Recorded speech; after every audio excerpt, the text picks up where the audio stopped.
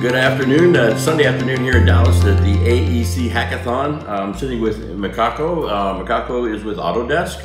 I'll let her give the technical aspects of, of what you do with Autodesk.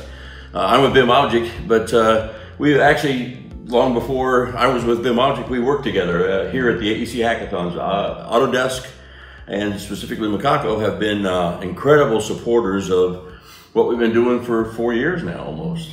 so anyway, Mikako, tell us a little bit about you, what you're doing now, and, and your role at Autodesk, and and then let's move in a little bit about how you see the hackathons helping that out. Okay, okay. Yeah, hi, my name is, again, my name is Mikako Harada, and thank you, Steve, for this opportunity Absolutely. to speak. Yeah, I'm, um, uh, the, I work for Autodesk, as, as Steve said. Uh, the team I work for is uh, Forge uh, Partner Development.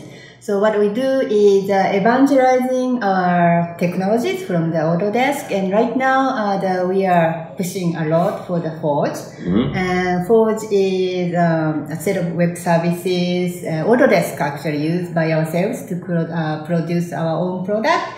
And it's like a you know Google Map APIs for locations and uh, YouTube for videos, and we want to have like a design data uh, make very easy to access to everybody. Yeah, I've noticed, um, and maybe you have too, with what we've been doing. We, a few years back, we were really focused in the design area and engineering more. So it's interesting to hear you say that you're looking in the, the, the field mapping and so forth, because that's what I'm seeing too, even the other conferences and shows are going to. It seems like a lot of the tech now is moving into that assembly phase uh, to, to bring that same digital content and, and leverage it through. Are, are, you seeing more of that as well from what you guys are doing? Yeah, exactly. And then, you know, there are a lot of uh, partners who usually you don't think about the construction or designs, right. but the owner of the building or owner of the business. For instance, like uh, some uh, distribution, big distribution offices or design uh, the data centers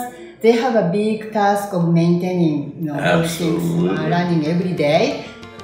I think that explains a lot like why BIMobject and, and Autodesk are closely partnered. I mean, a lot of our uh, our portal, a lot of our uh, the, our Hercules and our digital building sits on the Forge platform. So we've been really uh, pretty close partners for a long time, and we'll be uh, together again. Uh, we got uh, Autodesk the Forge DevCon, which mm-hmm. precedes AU Autodesk University, coming up in uh, November. That uh, we'll both be at. So, and our companies as well. So hopefully, anybody out there well, come and check out all the, the stuff yes. and get a little more hands on. Yeah. Uh, is there anything new that you are able to talk about that, that's going to be rolled out at Forge and or, or AU from yes, your areas? Uh, yeah, the, I'm glad you're asking. I have uh, two big topics. One is called the design automation for Revit.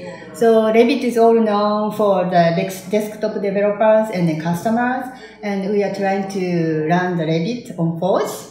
And Great. I'm actually having, personally, I'm having hands-on and thinking about the cool application samples for AUs now. And the second one is a more additional features for on top of BIM 360. And Great. we just released uh, the, uh, actually secretly, uh, the, we put the production on the issues API. It's not everything, but the first version of Issues API is actually on productions and then uh, the handful of people has already uh, using it.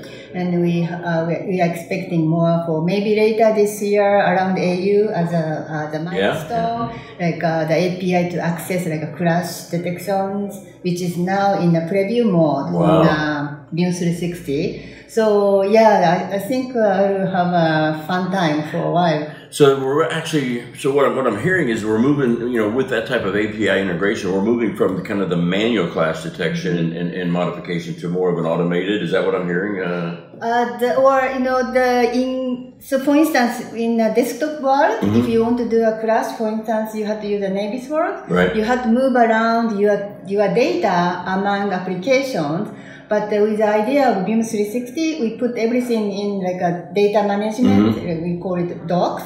And the product, you know, whatever product or you know, even third-party applications can access the same data. So you yeah. don't need to move around your data. You just you know, you know access this one from different perspective. Great. You know, in the context. So, great, great. Yeah. Well, it's uh, it's a lot of fun Yeah. being able to work in this piece of the, of the world. You know, where we're actually we are changing the world, all of us Yeah. here every day, and I really appreciate your contributions. I know you've helped a lot of teams this weekend. You do every weekend, and I know. Uh, they, they really appreciate your expertise and your depth of knowledge. It's pretty amazing. So Yeah. thanks for being here. Thank and sharing. Yeah, I'm a big fan of the AEC hackathon.